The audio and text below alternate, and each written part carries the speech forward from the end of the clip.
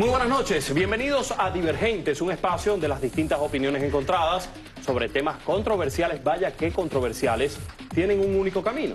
Y ese camino es y debe ser siempre el debate. Cada persona en el mundo posee gustos y estilos diferentes. Uno de los ejemplos más grandes en cuanto a diversidad se puede encontrar en la música. Existen muchos géneros musicales en todo el mundo. Cada uno de ellos representa una cultura, un estilo y una manera de ser. En la actualidad, géneros musicales como el reggaetón, el trap o rap se han hecho presentes en la sociedad. Sus letras imponentes se han vuelto populares entre los jóvenes, pero hay quienes aseguran que la influencia de esta música en los jóvenes representa un daño moral en su comportamiento o desarrollo. Por otra parte, están quienes argumentan que estas canciones reflejan la realidad de la sociedad actual y forma parte de la música moderna. Pero, ¿qué sucede en Venezuela con estos géneros? ¿Qué tan popular es entre los jóvenes y cómo es su influencia? Para eso tenemos un panel de invitados. Vamos a presentarlos a cada uno de ellos. Víctor Medolpe, integrante y profesor del sistema de orquestas Núcleo Guatire. También está con nosotros Luis Freites, nombre artístico Rey Capi, cantante de música urbana. Paul Gidman, cantante venezolano de heavy metal. Kerimer Hurtado, nombre artístico Gula Mafia, cantante y productor de música urbana. También David Meire, guitarrista y cantante de la banda musical Yugular. Y Joykel Pérez, nombre artístico Joy, cantante de música urbana. Antes de generar el debate, precisamente darle la bienvenida y conocer su opinión de una pregunta de cada uno de ustedes rápidamente. ¿Hay valores dentro de la música urbana? Comenzamos contigo, Víctor. Te escuchamos.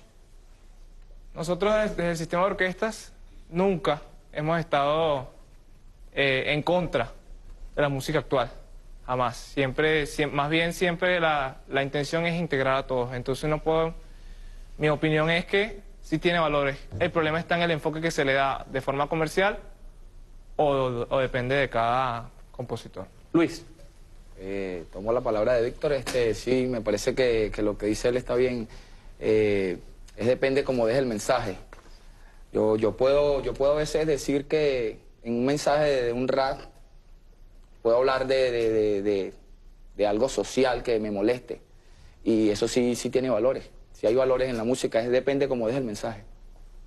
¿Hay valores o no en la música? Bueno, lo que pasa es que cuando tú dices urbano, esto se puede eh, se, se, tiene que entender de diferentes maneras. Por lo menos si él representa, creo que el rap, el rap es un género original, urbano, nacido del sentimiento y el sufrimiento de, de los barrios más bajos y deprimidos de Los Ángeles en adelante. Por ejemplo, eso es válido, igual que fue el blues que fue de los, de los negros traídos como esclavos de África a Estados Unidos, y ahí eso es un género urbano. O sea, si tú me estás hablando, si el reggaetón o el trap, por ejemplo, tiene valores, yo como cantante me voy a ir a una letra. Aquí les dejo unas letras de reggaetón y trap. Te lo voy a meter completo. Contigo tú te vienes rápido cuando te lo meto. Otra, yo siempre ando en un maquinón y no lo alquilo, es mío, cabrón. Tengo mujeres que se paran en diferentes poses, fuman hierba antes de los 14. Usted me dirá si eso tiene valor. Ese es el debate. Keriner, Gula Mafia. es demasiado explícito lo que dice el señor Val. Bueno, este, en realidad... Y son las más tranquilas. Él tiene razón. El, el, el, rap es una música social de dar mensajes. Este, igualmente con el trap puedes dar mensajes, con el rock puedes dar mensajes, pero este, en opinión personal de, de valores, la, toda la música tienen valores, pero simplemente la gente no los quiere. ¿Y quién va a luchar con eso? La gente, el público no quiere esos valores. Esa es mi opinión personal. David. Bien triste. Eh, no, no hay valores en la música urbana. Desde el enfoque del reggaetón y el trap no hay ningún valor. Lo que hay es depreciación, hipersexualidad y una exaltación. ¿No, crees que depende como, como diga el mensaje? No, no creo. Creo que no hay. Creo que hay una hipersexualidad, creo que hay este, una exaltación de la criminalidad, creo que... Hay reggaetón cristiano. Pero, es que lo va a... ya, pero esto no es un debate, esto es la opinión de cada uno. David, y después vamos a debatir. Ya va, no se me acelere. sí, sí, sí, ahí en, este, en este mundo hay gente haciendo música, además desde el rock también hay gente haciendo lo mismo. Pero en la generalidad, en el 80% o más del, del trap, y del reggaetón no se está haciendo nada más que daño a nuestros niños. Joy. Claro que sí, este, dependiendo del género dentro de la música urbana, porque tú nos estás preguntando dentro de la música urbana, no dentro del rap o del reggaetón. Se entiende por música urbana todo, toda la, la, la música que se hace en el, ur- en el urban. O sea, se entiende, la, la salsa también es música urbana, la bachata es música urbana, reggaetón música urbana, el merengue es música urbana. Ahora, si se enfocan solamente en el trap y en el reggaetón, hay ciertas letras que obviamente no tienen, no tienen valores por el tipo de, por la, el léxico que expresan allí. Pero si hay, si hay tipos de música urbana que sí tienen valores, Bueno. sí expresan valores. Vamos a realizar una pausa. Dejar ahí entonces, como decía, había una pregunta al aire. ¿Hay entre el reggaetón, el rap, la música que se genera allí, está acabando o atacando a la sociedad? Eso lo vamos a debatir al regreso de esta pausa. Pero antes, un material que preparó el equipo de producción. Ya venimos con más de Divergentes. Continúa. Divergentes.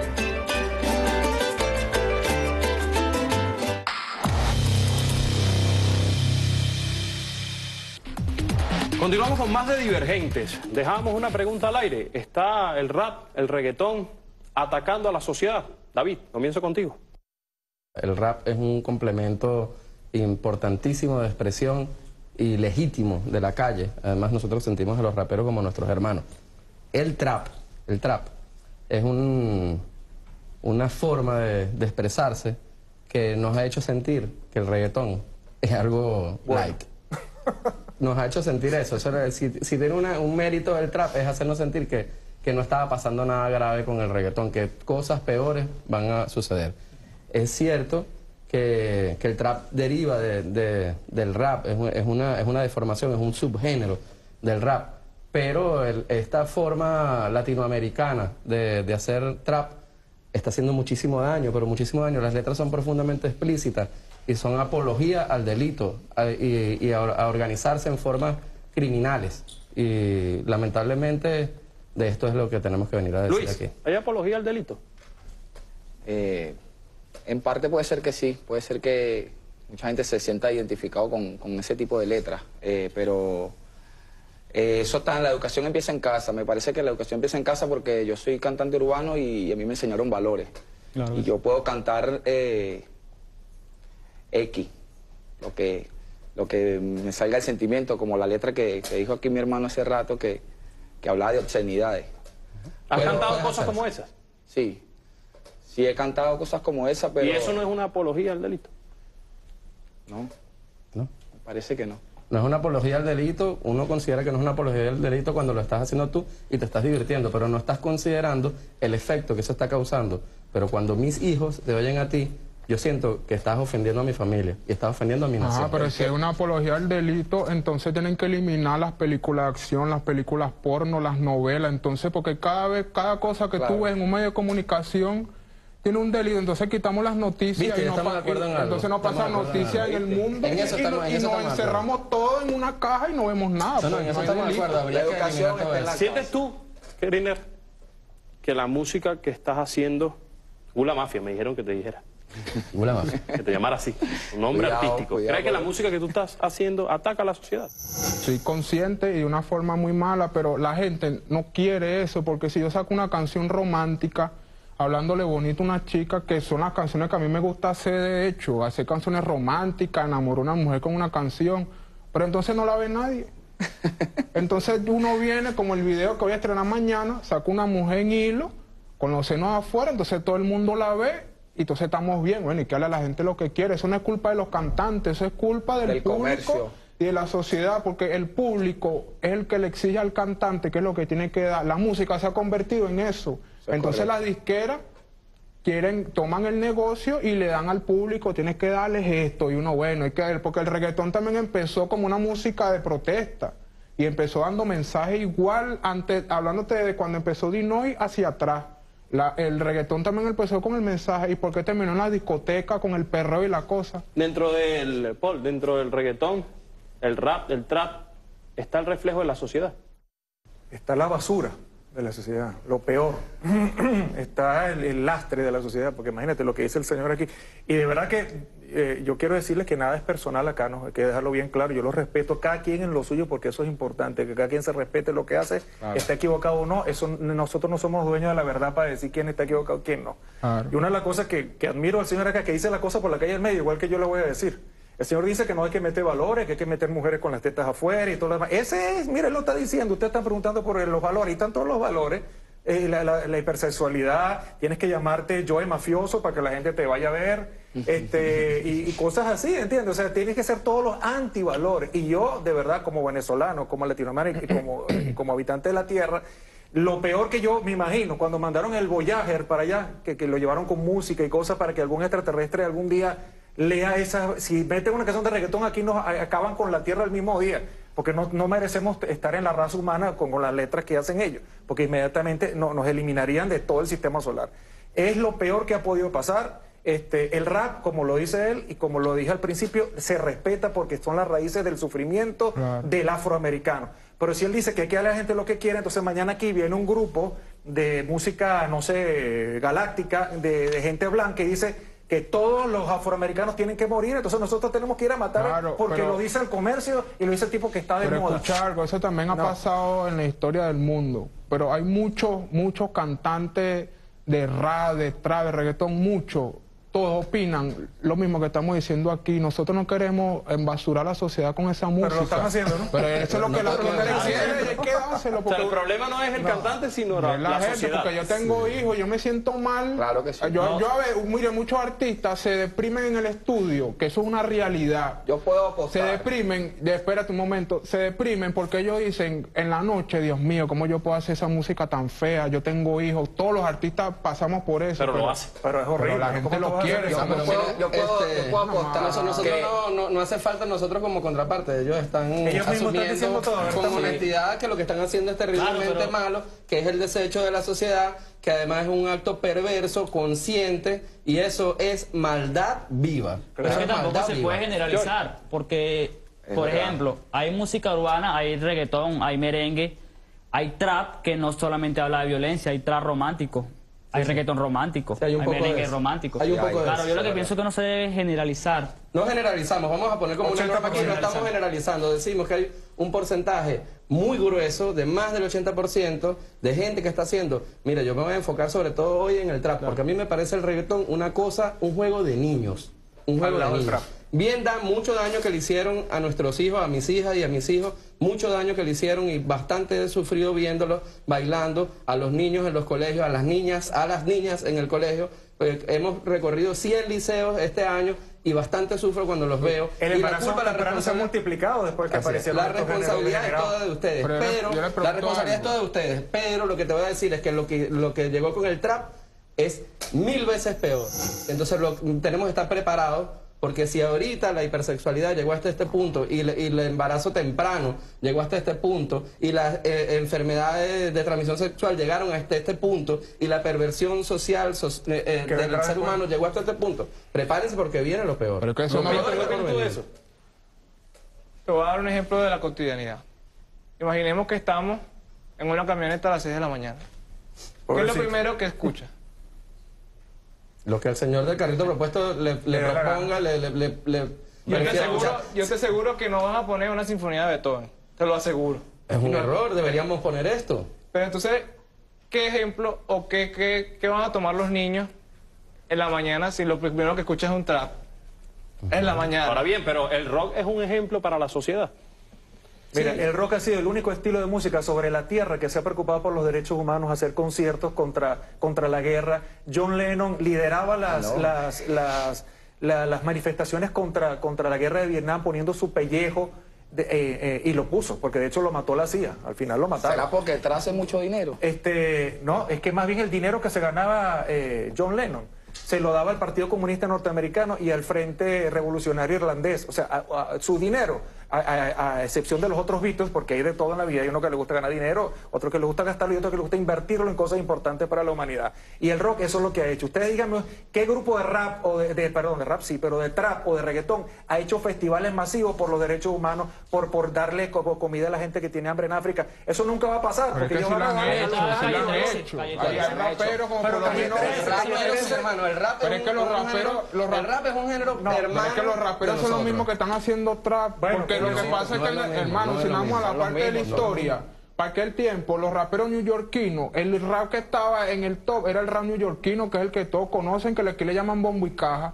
Y, lo, y ya el trap se hacía ese tiempo, que eran los del sur, los del sur de Estados Unidos, pero no pegaban porque sus letras hablan era de dinero, que es lo que habla de dinero, de las cadenas, Pero empezó de como los protesta, grills, ¿no? hablaron con las cosas y nadie le hacía caso. Después que sale el rapero como Lil Wayne y empieza a meterse toda esa onda de trap en Estados. Unidos, es que sale al mundo ese género, pero eso no es una cosa que, que salió ayer. Y, y gracias al trap, entonces ahora hay pornografía y se echó a perder la sociedad. Nadie está diciendo eso, mi pana, nadie está diciendo eso. Lo que estamos diciendo es que el, el trap, la interpretación latinoamericana del trap, la interpretación Latinoamericana. latinoamericana del trap, que es una expresión temprana, cercana, acaba de ocurrir hace menos de cinco años, acaba de ocurrir esto y nos está pegando en la cara. Y la responsabilidad es toda de ustedes. No le No, sea, echar la culpa nosotros no, a los la raperos norteamericanos. lo- y, y los que hacen las películas de acción Pero hermano, no estamos hablando aquí de películas norteamericanas, estamos hablando de trap. ¿qué estamos diferen- hablando- pero no qué diferencia hay de que lo vea que lo La escuche? diferencia es que lo estás haciendo tú y no lo está haciendo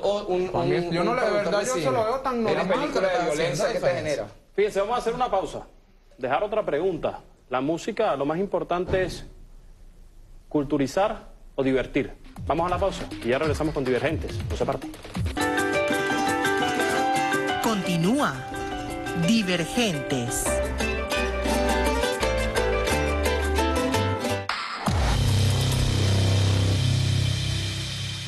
Bueno, continuamos en su programa Divergentes. Dejamos una pregunta al aire. En la música, ¿qué es más importante? ¿Divertir o culturizar? Joy. Es que eh, depende del enfoque que se tenga en el momento, hermano. Porque, por ejemplo, yo puedo hacer un tema hoy para divertir, pero mañana quiero hacer un tema para culturizar. Depende del enfoque del momento, así lo pienso yo. Es decir, que un día puedes hacer un tema Claro, para exacto. hacer plata y otro día puede Para interpretarse hacer, así. para hacer plata y para divertir al público también. ¿Es más importante entonces el dinero que la cultura? Eh, como te dije, la cultura es muy importante. El dinero también. Pero mucha gente se quiere divertir. No- nadie va a una fiesta a sentarse a escuchar una canción que le dé un mensaje. La gente quiere bailar. La gente quiere distraerse. Quiere vacilar, como decimos aquí, pero la gente no va a una, a una fiesta a, a- escuchar. o sea, la gente no va a una fiesta a escuchar una canción. Parece que no. Yo opino- eh, a mí me interesa culturizar. La gente quiere divertirse. Hay personas que quieren escuchar una canción en su casa porque quieren escuchar mensajes, escuchan la letra, detallan hasta el más mínimo sonido que tiene la música, pero esa es una minoría. La gente quiere divertirse. ¿Para ti es más importante la cultura? Para entonces? mí es más, es más importante culturizar, da- escribir una buena letra, de un mensaje, pero la gente quiere divertirse. Es la, Entonces, ¿qué es la realidad del mundo. ¿Y qué es lo que haces tú de las dos cosas? Yo hago las dos cosas, hago como hizo el pana, ha- hago una verdad. música para divertir y hago una, una para culturizar, que nadie le hace caso, pero quieren divertirse. Esa es la realidad del mundo. Y porque no buscamos que ambos géneros, el trap y el reggaetón, se culturicen a la sociedad. Vas a luchar, tú, fácil- vas a luchar tú contra, contra, Tú todo, luchar, contra claro. todo eso. Paul, ¿La no. cultura o el dinero? Mira, este, la cultura rock, que es lo que yo promuevo, es algo muy, muy hermoso porque el rock es un, es, un estilo de vida, es una manera de pensar, una manera de vivir, una manera de sentir, es otra cosa. O sea, yo no puedo comparar aquí el rock con nada, de, con ninguno de los, de los géneros que está aquí, de hecho, con ninguno de los que existe, porque es como una religión, el rock es como una religión. Y por lo tanto, este, bueno, uno lo que exige es el respeto hacia el rockero con su religión, igual como uno respeta al pana que es evangélico, el pana que es testigo de Jehová, el pana que para de sufrir, en fin, eh, uno lo respeta, o de repente uno no los comparte, pero lo respeta. Pero que lo dejen tranquilo uno con lo suyo, porque uno no puede estar pensando, voy a hacerme rico mañana, voy a hacerme famoso, y en 30 segundos, como hace el viejito gallego que en 30 segundos montó un reggaetón y un video y todo por YouTube, que fue tendencia. Así se hace un reggaetón en 30 segundos, no tiene que... Es tan solo fácil tiene que usar... producir, eh, Claro. No. música ¿Cómo que urbana. no, por favor? Es fácil, pero no es tan fácil como él lo dice. Hermano, mira, tú solamente pones el ritmo en la computadora y pones cualquier cosa que pueda hablar, hasta un loro, tú le enseñas a decir tres groserías y, y cuatro Pero yo he rimas. llevado a mi estudio gente que con trompeta, violines, Ajá, que me el- tienen que armar una- pe- un- pero seguro no van a pegar tanto como el que no va a decir nada, el que va a tener una, una, una- un coro No, pero no pegajoso fácil, que diga tres groserías y le mete un autotune porque no, No, no necesita ni siquiera, pues eso no tiene nada que necesita ni siquiera estar es afinado. música y música Mira, tiene que llevar acordes, armonía. música, la música sigue siendo la, música. la música es ritmo, armonía y melodía. Pero Dime la tú si la tiene. armonía y la melodía la tiene un reggaetón, hermano. Claro que la Por tiene. favor. Que tiene. La Basta que tiene, tú hablas tiene como un ladrón de camionetica, chamo. Tú hablas como un ladrón de, de camionetica y le metes un autotune y tienes un éxito de reggaetón. Ah, entonces yo me Mira, mi amor, te voy a porque guitarra te voy a y también pega. Sí, lo- cómo no, ya te aviso yo. Ya te aviso si yo. Tiene que dar años Ah, para bueno, aprender una yo voy a gritar eléctrica. aquí como hace un rockero, guau, guau, como una guitarra eléctrica, un bajo, una batería y pega. claro claro. Pero tienes que aprender años a hacer eso. Tú te pones a un hablar- reggaetonero que no tiene ni idea de lo que es la música yo, en 30 hermano, yo segundos soy productor musical y hacer una pista yo tengo que tocar piano. Yo tengo que agarrar un Tú no puedes sintetizador y tú no puedes desentonar grabando de David. Es tan fácil producir una canción de reggaetón, de trap, Yo soy productor musical y es absolutamente sencillo producir un tema de reggaetón y bastante complicado producir otros géneros. La salsa es uno de los géneros identitarios de nuestro país y es muy complicada de hacerlo. Porque es una Todo- orquesta, es todo- una banda. Por supuesto, todos los, los ritmos venezolanos son ritmos complejos, compuestos y son- es complicado componer en, en esos tiempos y en esa armonía. El reggaetón es bastante sencillo de componer y no solamente eso, sino que además hay una, un- un- una gran variedad de cosas que están preseteadas que, la- que las extrae y las. Es verdad, algunas personas... Mira, eh, a- una de, los- de- las cosas que yo rescato de, esta reunión es que no podemos generalizar, pero, pero vamos a tratar de definir porcentajes. El 80% o más de la gente que se dedica a hacer trap y reggaetón está eh, hablan- hablando desde, la perspectiva de la ética, está eh, exponiendo antivalores y, y diciendo eh, mensajes absolutamente negativos a la, a sociedad. 80% el también escucha más. Desde, desde, la, desde, la, desde la ética. Desde la estética, el 80% o más hace música muy sencilla de elaborar. No, no, pero En- ese- en- no hay en palabra mal dicha, sino mal interpretada. Sí, porque yo puedo en decir, otros a géneros, en meter, otros géneros, por ejemplo, meter nosotros hablamos de habla- nuestra, nuestra experiencia, que es desde el rock, desde el rock, nosotros también reconocemos que debe haber por lo menos un 20% de los rockeros Eso es, que es un están eso es como lo que eh, usted me dijo, eso es como lo que negativos. usted me dijo, que no, yo tengo una carabela que yo le hago, entonces para mí usted es un satánico. Y usted dijo, no, porque la carabela es que todos somos iguales. Ah, no hay palabra mal dicha, sino mal interpretada, porque entonces, imagina. Mira, yo te voy a hablar desde el ámbito académico. Teóricamente, parece fácil hacer un, un, un, eh, trap. ¿Por qué te puedo decir? Porque el mismo ritmo se repite 40 veces.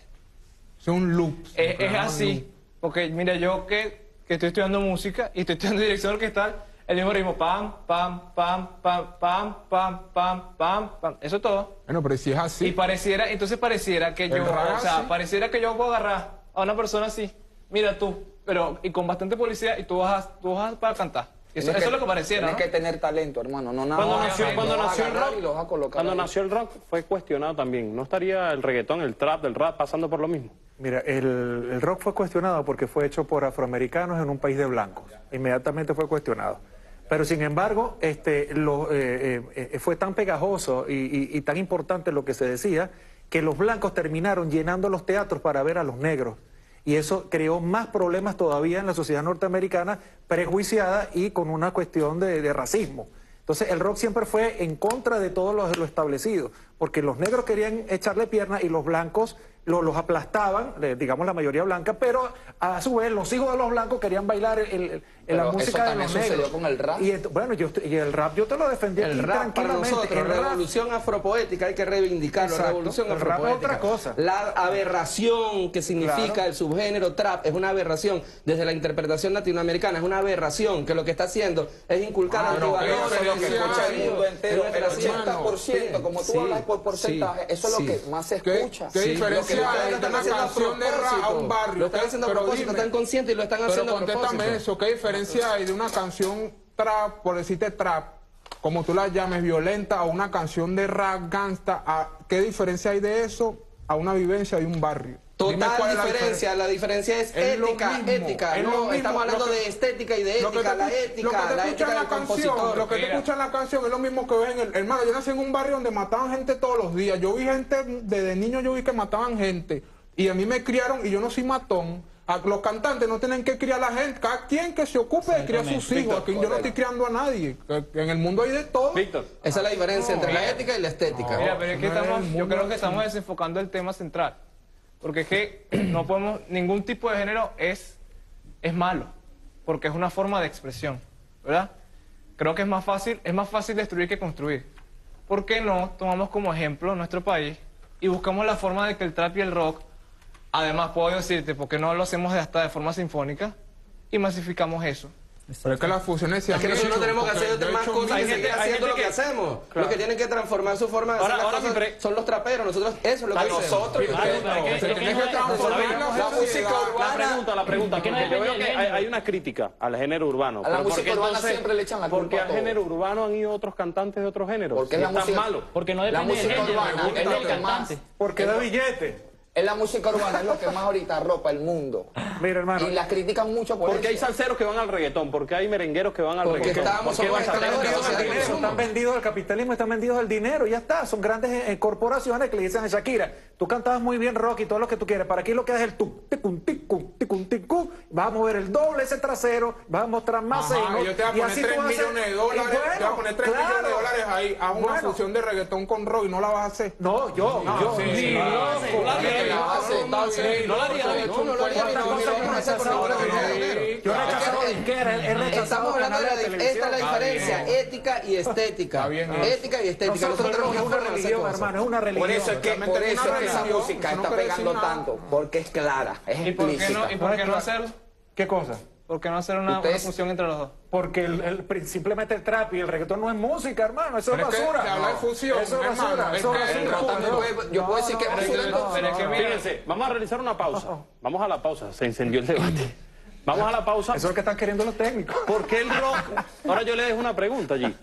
¿Por qué el rock está asociado a cosas oscuras como Satanás y está también allí el alcohol y las drogas? Porque no le convenimos, no le convenimos a la sociedad. Anda. Ah, pero Solamente eso por eso, pero ya va. Vamos a la pausa y al regreso debatimos Claro. sobre esto en Divergentes. No se aparten.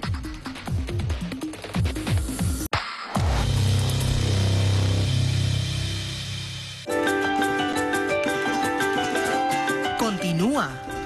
Divergentes.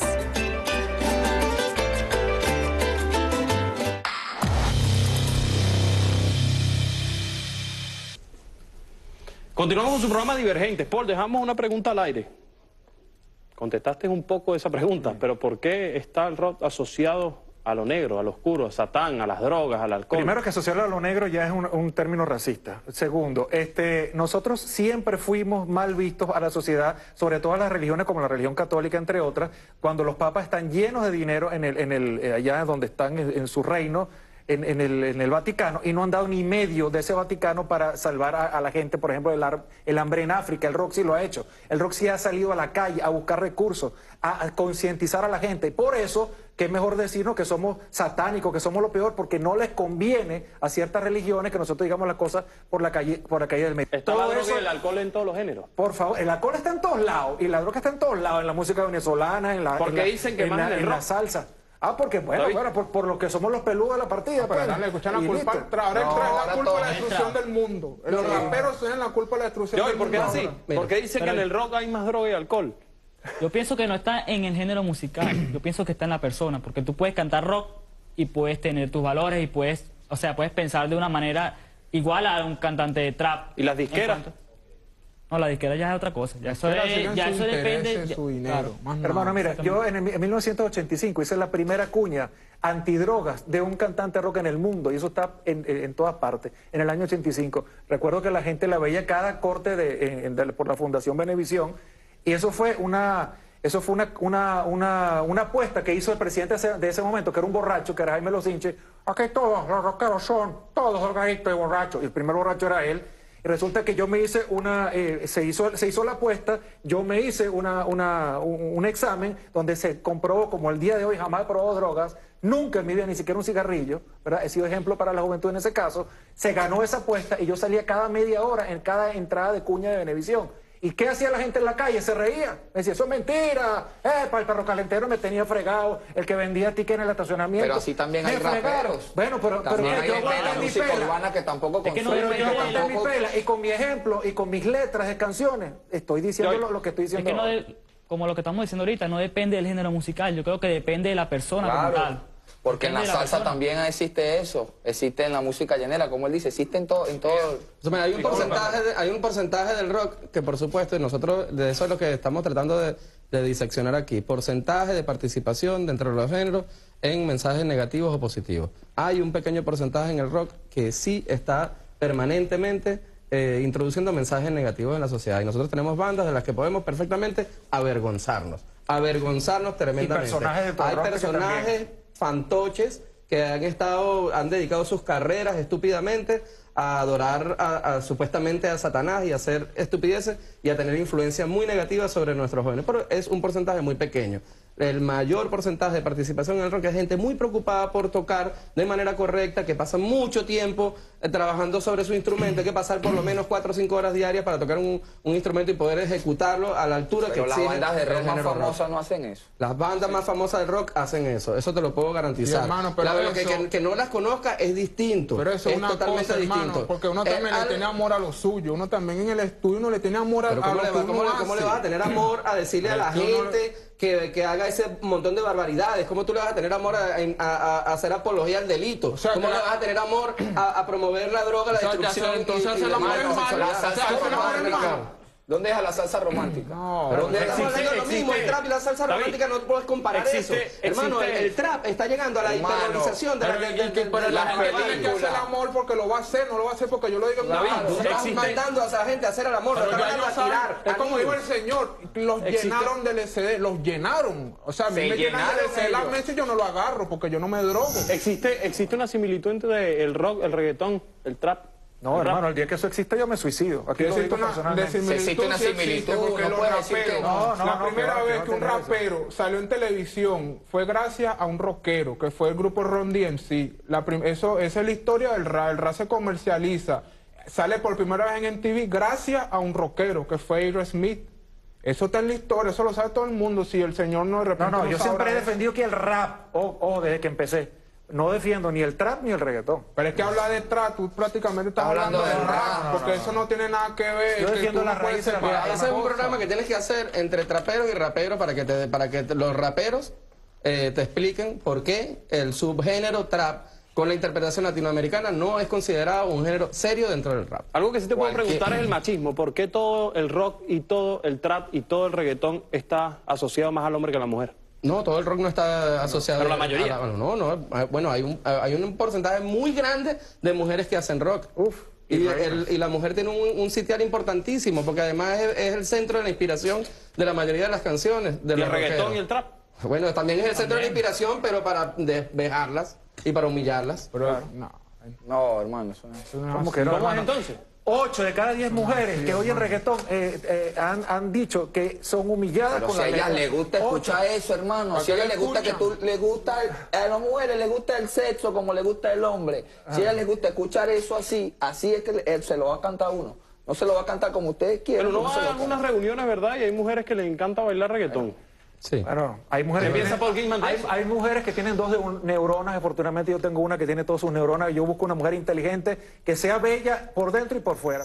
El reggaetón está por encima del rock, David. El reggaetón, o sea, no, yo no, yo no voy a caer en eso. Yo lo que, yo lo que les puedo decir. Pero me puede contestar, decirme sí, si claro. sí o no. Yo lo que les puedo decir, lo que les puedo decir es que nosotros eh, entendemos, incluso respetamos. Pero no me contestas si sí o te no. lo- te lo voy a responder. El, el reggaetón, que fino que existe, está bien, eso hay una gente que están atendiendo, un, un- una, además un grueso. Nosotros lo que hacemos son canciones para ocupar un espacio que consideramos necesario, para comunicarnos con una gente. Si está por debajo, por, está por encima, no es nuestro papel decidirlo. hay un, hay un problema, hay un contexto que no hemos, que no hemos atendido, que es el histórico. Siempre ha habido un grupo que ha estado en contra de lo que en la actualidad se presenta. Lo mismo pasó con el, con el rock al principio, ¿verdad? Lo mismo pasó con el trap, lo mismo pasó con Beethoven, lo mismo pasó con Mozart, porque la iglesia estaba en contra. ¿Por qué? Porque en ese momento había unas normas que no podías componer de esta forma, porque si componías de esa forma estabas con el diablo. Si hacías un acorde específico, estabas con el diablo. Siempre ha pasado. Pero yo creo que la idea es más bien que, que busquemos puntos de encuentro. ¿Cuál es el punto de encuentro? Bueno, que a la gente le gusta. Busquemos qué es lo que a la gente le gusta, pero de manera constructiva. De manera que les deje algo. Ahora bien, ¿cuál es la cultura musical venezolana? Para mí, el, pero la cultura, ¿cómo así? Porque la cultura musical venezolana es La música ya oropo, llanera, esas cosas, hasta tambor, el folclore. Eso es lo que se puede resaltar en Pero eso parece Venezuela. estar en un segundo plano. Sí, porque aquí adoptamos cosas Claro. que no son de aquí, la Mi pregunta mayoría. es, Admite tú entonces que tú has adoptado tanto físico, porque yo oí algunas cosas que tienes tú, cadenas y algo también en la boca, has adoptado otras culturas que no son las tuyas. Sí, sí la hemos adoptado. Igual ellos. Sí, igual la ellos. Igual tú también, David. porque Sí, la- por supuesto. Nosotros hablamos de una cultura heredada y una cultura elegida. Nosotros heredamos la cultura tradicional venezolana y además nos compenetramos con ella. Eso es lo que hacemos todos los días. En- en- desde la música que nosotros hacemos, yo con mis compañeros, nos vinculamos completamente las tradiciones venezolanas. Las vinculamos con el rock. Y también elegimos... Ah, pero eso parece no hacerlo el reggaetón, ni el trap. Ah, no, a lo mejor puede ser Sí, que lo sí, hagan, sí, pero lo he no, escuchado no, no, no es masivo. No lo masivo, no es lo masivo. Que están haciendo música con Mira, cantantes llaneros de Venezuela. Aquí la- el debate en ese sentido es, hay una manera venezolana de hacer rock, hay una manera venezolana de hacer trap, hay una manera venezolana de Sí la hay. Ah, Existe una manera venezolana de hacerlo. Claro que existe una manera venezolana de hacerlo. y Por supuesto también. que existe una Sí manera hay. venezolana, una lamentable manera venezolana de hacer trap. Pero si estamos Una claros- vergonzosa manera Y venezolana no de hay hacer un trap. vergonza- una vergonzosa manera de hacer rock. Claro que También sí. hay una manera claro, vergonzosa venezolana de hacer Claro, rock. claro, También la hay. supuesto. Claro que la hay. La hay. No Una es el gran porcentaje, manera. pero lo hay. Lo hay. Y muy vergonzoso, por cierto. como en todos los géneros y lo, y lo importante. Esas, esas culturas no son nuestras, pues. Mira, el, el, el, el reggaetón, el reggaetón es del Caribe. Ni siquiera el, Ni el siquiera arpa, es el nuestro. 4 ni la maraca son nuestros, si vamos a pensar. Todo viene de otros Todo países. de Nosotros no tenemos sino un tamborcito, creo que por allá, que es lo único que se, que se, ha, se ha hecho un estudio que, que- que ha sido nuestro. Pero nosotros- todo lo demás ha sido traído de otras tierras. Así Ah, que pero si nosotros la tenemos música- descendencia africana Bueno, y el la música- descendencia africana, entonces yo puedo, me puedo tomar eso como que de mis ancestros y puede ser mío Bueno, no sé, pero os digo, un estudio que se ha hecho de un tamborcito que había por ahí, que pues, a lo mejor también vino de África. O sea, nosotros no tenemos aquí una música realmente. Música venezolana es el que haga un artista venezolano, no importa cuál sea el género.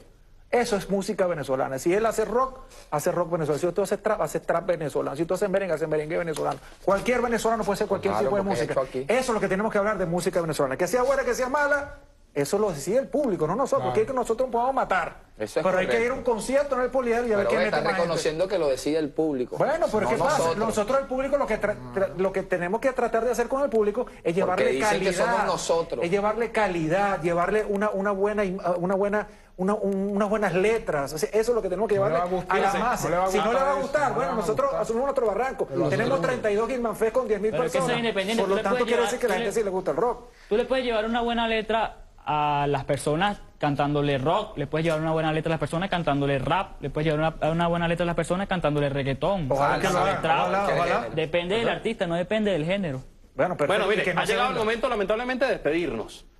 Un mensaje a ese público que decide. Empezamos con Víctor, muy corto, por favor. Bueno, el mensaje es que usted es libre de escuchar lo que quiera. Lo importante es que, Se lavó las manos. lo importante es que esté consciente de lo que está escuchando. Rey Capi. ¿Qué significa Rey Capi? Otra vez, ya te lo dije. No, no, el programa no. Fuera de cámara. Él es el rey de los capos. Ah, está bien. ¿No? Dice ¿Es él. así, no? El rey Dice de que también es italiano. un Ya te mensaje la- a ese ya te la público. Bueno, un mensaje a mi gente es que, que la gente es libre de escuchar lo que quiera, de, de bailar, de gozar, de disfrutar, eh, independientemente de- del, del género que sea, sea rock, sea reggaetón, sea track, la gente es libre de, de sí mismo. Paul Gilman, se lavó las manos también. Lo lavaron. Bueno, yo creo que cada quien tiene que ser consecuente con su mensaje, con su manera de ser. Si te gusta hacer trap, si te gusta, eh, haz lo que te dé la gana. A nosotros nos interesa, a los que estamos aquí, por lo menos dos de nosotros, a seguir haciendo lo que estamos haciendo, seguir llevando la cultura del rock nacional. Es otra cosa, Lo- rock lo nacional. importante es que se rock respete. hecho en Venezuela Lo de para tratar y lo de nosotros. levantar una buena conciencia y llevar este país adelante y más nada. Ula Mafia. Tu mensaje a la gente que no ve, que es el que decide, además.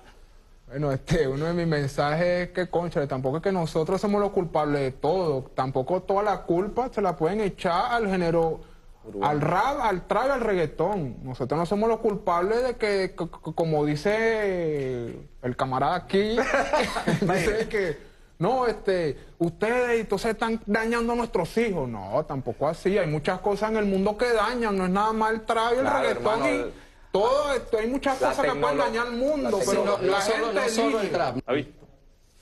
Nosotros hacemos canciones para, para ocupar un espacio que está vacío. Somos, por supuesto, eh, parte de una resistencia cultural.